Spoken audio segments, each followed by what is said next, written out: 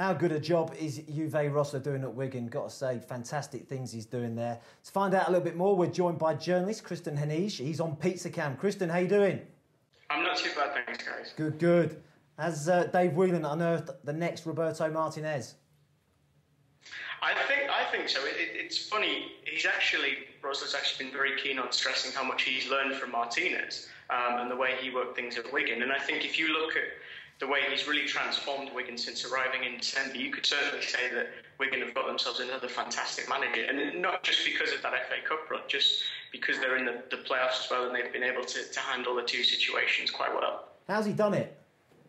Well, he, as I said, then, he's, he's done it by kind of learning from Martinez against Man City. The the kind of now infamous 2 1 victory at Etihad, had, he said he took a lot from the, the FA Cup final the previous season, in which they won, and he implemented a, a 3 4 1 2. Um, he's been very possession based, he's been very keen to uh, try and keep players that are good technically on the ball and thrive in a style that a lot of the players have known from their time with Martinez and, and even slightly further back. Are they the favourites going into the playoffs? I just wonder, they've played 57 games, whether that might count against them.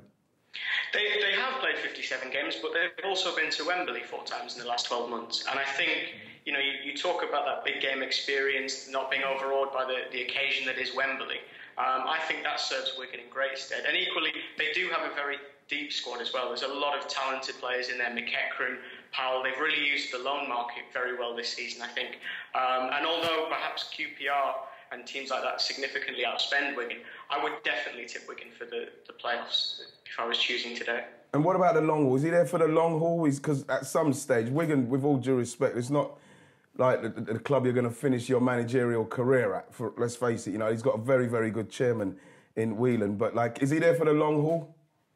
He's already been linked with Eintracht Frankfurt in Germany. Um, he's he'd done a little bit of time in Norway prior to this, so you could argue from Norway to Wigan, or from Norway to Brentford rather, than to Wigan, it's kind of a progression that's steady enough. I think he'll he'll want to establish himself at Wigan and almost prove his own credentials and equally improve his own experience because he is still very new to English football in that sense. So I think eventually, much like Martinez, you'll see a point where he's reached his glass ceiling at the football club and is then allowed to, to move on. And I think Dave Whelan, as we saw with the way he handled Martinez, he won't stand in his way. And if anything, he'll try and do right by his manager. Yeah, but that was because as time went by, it, it, it, got to a stage where Martinez was literally, you could feel that he was outgrowing it. Next season, because of what he's done so quickly at Wigan now, he wouldn't go. Would he go? I think if they don't get promoted, there's every chance he could go because, again, it, it's that idea of it depends on the project. I think, you know, you look at Martinez, you mentioned him again there was jobs that he spurned, and I think he had to have the right project. And I think Rosler's completely the same, certain on picking the right job, because if it's not a good fit, then as we saw with, with Ole Solskjaer at Cardiff there this season, it can actually hamper your own chances and your own perception in football. So I think Rosler will have to pick the right project. If he stays another year, my gut instinct says yes, he stays at least another year at Wigan before even considering a move.